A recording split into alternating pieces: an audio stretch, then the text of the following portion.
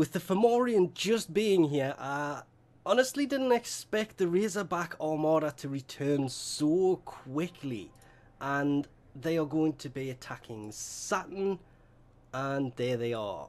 I do kind of wish that there was actually a giant Razorback floating there, but obviously it's the Razorback Armada, hence the reason you have to do this three times to get the reward out of it, whereas the Fomorian one is based on points.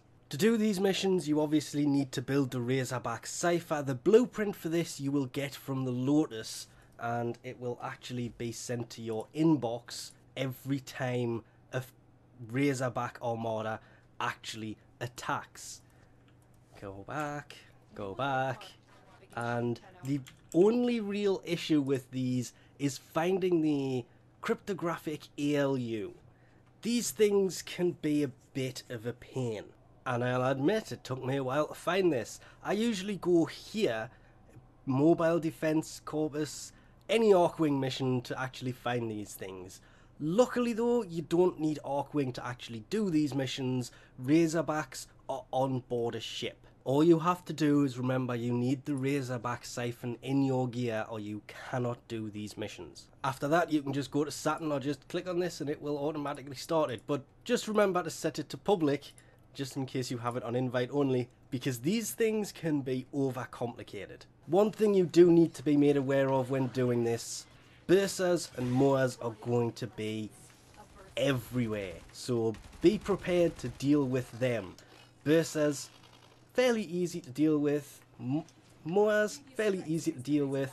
The hyenas, however, they can be a pain, and I'm actually surprised I don't have one in front of me right now. There we go, I knew one of you would be, somewhere.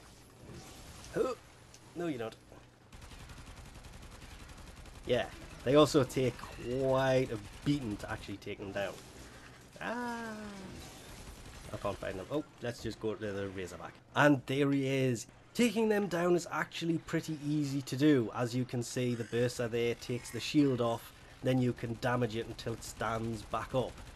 Because it has a shield on it and you can do zero damage to these things. Absolutely nothing. Though I was actually getting numbers off there. I don't know what that's lethal.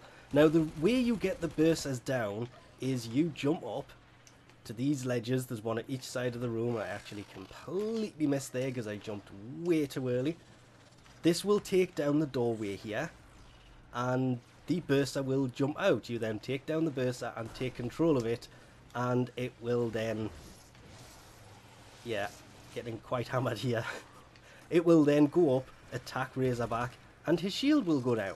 At that point you can deal damage. You need to release the Bursas and take control of them to be able to take out the Razorback. Without them, you just cannot deal damage. It's nothing but zeros. Lots and lots of zeros. One more should do it.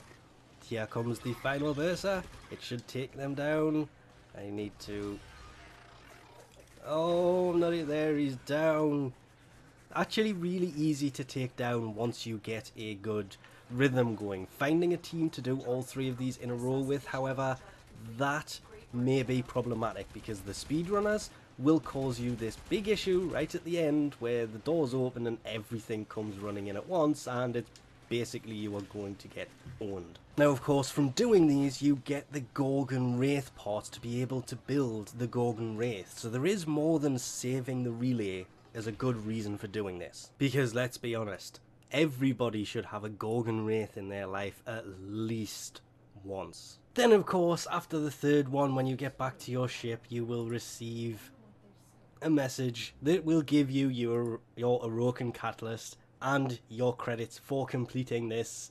It's not really a tactical alert, you have to do these obviously to get the Gorgon Wraith part, and if we don't complete these before time is up, the Kronia Relay, well, I'm assuming this works like the Fomorian does, where it'll get destroyed, but weirdly, they've never made it, so that's never really happened yet. Just actually making sure the other relays are still there, considering Baro is due this week anyway. But we'll leave this off here for now. Thanks for watching, and I'll catch you next time.